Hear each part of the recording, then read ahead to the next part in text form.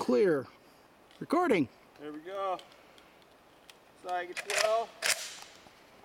20 rounds.